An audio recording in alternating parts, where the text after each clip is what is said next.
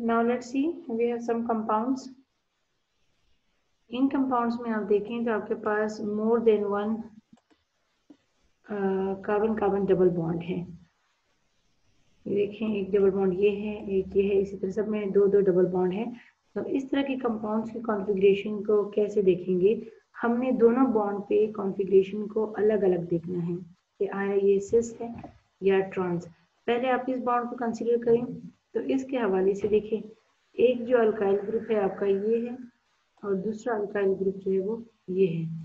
Both of them और on the same side तो इस कार्बन कार्बन डबल बॉन्ड के हवाले से आपका एक कंपाउंड जो होगा, वो सेस होगा।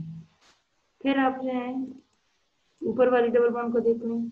यहाँ पर क्या है कि एक अल्काइल ग्रुप आपका ये है और सेकंड जो बल्कि या जो अल्काइल ग्रुप है वो ये होता है, इस डबल बॉन्ड के लिए। दोनों ऑन द सेम साइड है। हाइड्रोजन आपके ऊपर वाली साइड पर है will be also known uh, sorry this double bond will be also cis तो इस कंपाउंड को हम कहेंगे कि इसकी जो कंफर्मेशन है दैट इज़ सिस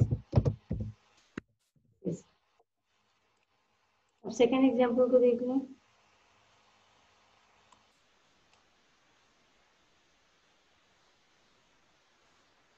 इस डबल बॉन्ड को हम देखेंगे.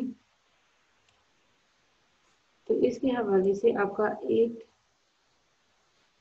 अल्काइल ग्रुप ये है, दूसरा अल्काइल ग्रुप ये है। दोनों एक दूसरे के ऑपोजिट डायरेक्शन पर हैं हाइड्रोजन जो है वो भी एक दूसरे के ऑपोजिट डायरेक्शन पर है। तो ये आपका इस डबल बॉन्ड के हवाले से ये ट्रांस कॉन्फ़िगरेशन है।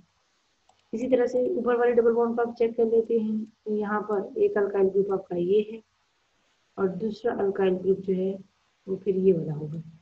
तो ये भी आपका ट्रांस है।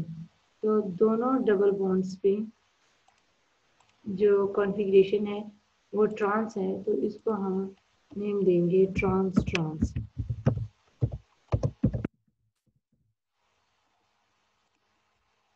अब एग्जांपल नंबर थ्री में देखें। यहाँ पर आपका ये बॉन्ड तो ये वाला एक अल्काइल ग्रुप हो गया, ये पूरा आपका दूसरा अल्काइल ग्रुप और ये दो हाइड्रोजन अकॉर्डिंग टू दिस ये आपका इस कार्बन एटम की जो कॉन्फ़िगरेशन है, वो सिस बनती है। ऊपर वाली जो डबल बॉन्ड है ये, अब इसका एक अल्काइल ग्रुप ये है दूसरा अल्काइल ग्रुप जो है, वो पूरा ये वाला ग्रुप आपके पास हाइड्रोजन जो है, वो एक दूसरे के ऑपोजिट साइड पर है। तो इसके हवाले से आपका ये जो कंपाउंड है, ये ट्रांस बन जाता है। तो एक डबल बॉन्ड पे जो कॉन्फ़िगरेशन है, वो सिस है, जबकि दूसरे पे कॉन्फ़िगरेशन ट्रांस है।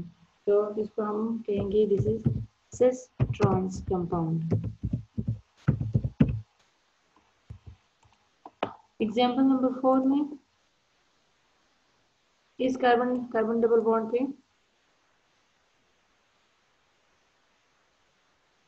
आपके पास बल्कि ग्रुप एक ये है और एक ये दोनों एक दूसरे के ट्रांस डायरेक्शन में है। तो first double bond will be trans जो सेकेंड डबल बॉन्ड है, ये इसके लिए एक अल्काइल ग्रुप ये है। Sorry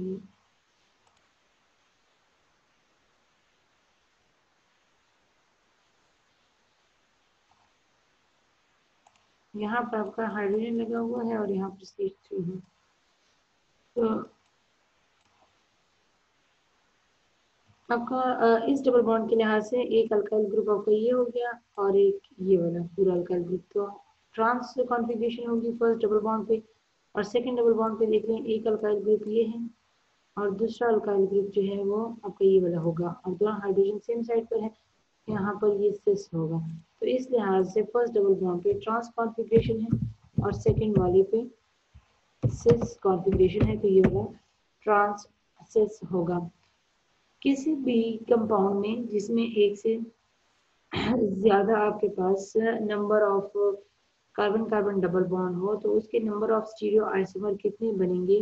That is given by the formula two raise to the power n and n is the number of double bonds n is equal to number of